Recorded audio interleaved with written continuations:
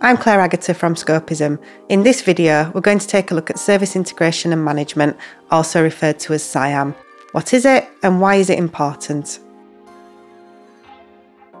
SIAM is a way of applying service management principles to environments where lots of different teams are involved in service design and delivery.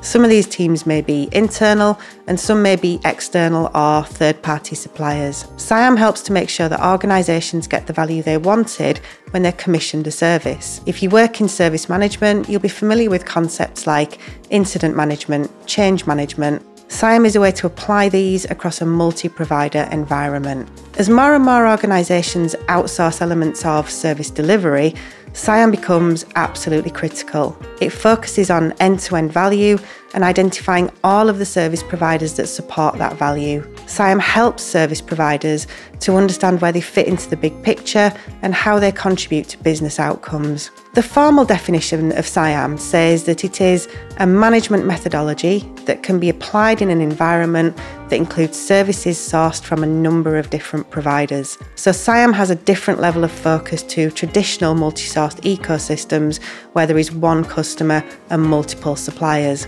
SIAM provides governance, management, integration, assurance, and coordination to ensure that the customer organisation gets maximum value from its service providers. You can read more about this in the SIAM Foundation body of knowledge, and that's available as a free download from scopism.com. Imagine this scenario. You're accountable for a critical business system. Let's use the account system as an example. You get a phone call in the middle of the night to say no one can send or receive any payments. Business processes are failing, the consequences could be huge. No problem. You call your supplier for the application. That should fix things, but they deny all knowledge of an issue. It must, they suggest, be an infrastructure problem. So you call the infrastructure team on their out of hours number. Not us, they say. Have you tried the security team? We know they were doing some patching last night. The clock is ticking and you're getting nowhere fast. You might need to imagine this scenario, or it might be one that you've already experienced during your career. Businesses are more and more reliant on digital services, and those services are more and more likely to be provided by a complex network of service providers. Think about how different things could be. In a SIAM model, this type of incident would be dealt with collaboratively across all of your service providers with everyone focused on end to end service delivery rather than their own contractual targets. This means you get the outcomes that you need much more quickly. And of course, this is just the start of what SIAM can do. Many organisations start from this reactive position, using SIAM to bring some cooperation to their service delivery. But in the longer term, building a collaborative culture across your ecosystem has huge benefits, leading to innovation and improvement. The SIAM body of knowledge says that SIAM introduces the concept of a service integrator, which is a single, logical entity held accountable for the end to end delivery of services and the business value that the customer receives. The SIAM ecosystem has three layers within it the customer organisation, the service integrator, and the service providers, which can be internal, external, or a mixture of both. Many customer organisations spend huge amounts of time carrying out individual supplier reviews, performance meetings, right across the supply chain. Introducing the service integrator role shifts the focus to value and end to end service management. SIAM is typically adopted in larger organisations, but it's actually for any type and size of organisation. The principles and practices remain the same, although the roles and resources required may be more or less. There are many, many benefits to be gained by adopting a SIAM approach.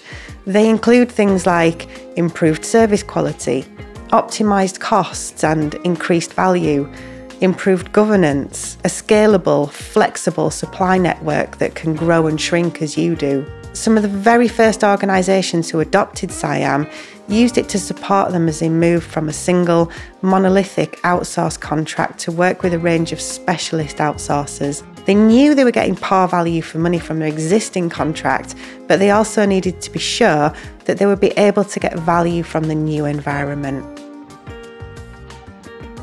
Adopting SIAM is a significant organisational transformation. There will be challenges along the way, and these can include building the business case to actually begin the work, culture change and organisational change management, as with any large project, commercial challenges and existing contracts, and automation and tooling to underpin your SIAM model.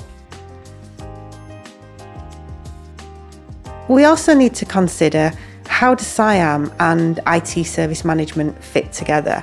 So there's often some confusion about how SIAM and IT service management interact. Does SIAM replace, for example, existing processes and procedures? The answer here is no. Many SIAM models are built on processes that you would be very familiar with, including incident and change management. It's easier to think of SIAM as building on and extending these processes, adapting them for the multi supplier environment.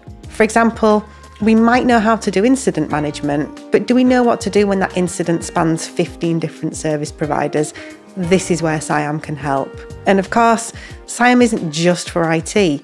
We can extend the scope of SIAM across the enterprise, incorporating areas such as HR, logistics, and facilities. Think about your joiners and leavers process, for an example.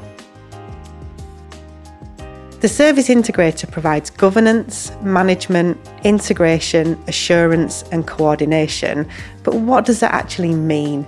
A huge amount of the service integrator's role is about building the culture of collaboration and communication between all of the different service providers in an environment. This can include getting external service providers to work together even though they're actually competitors. And it can also mean working with internal service providers who've never been managed in this way before. It can be a real challenge. Another question I'm asked quite frequently is Isn't this just supplier management? How is SIAM different to supplier management? And many people wonder about the difference between SIAM and these traditional supplier management activities, so it's a good question to ask. Supplier management typically revolves around a one to one relationship between the customer and the supplier.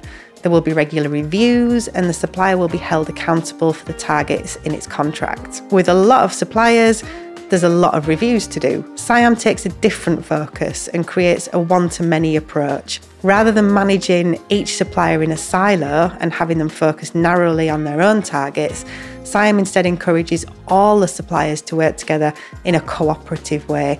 If one supplier has an issue, could another one help? Could collaboration lead to new services or innovation?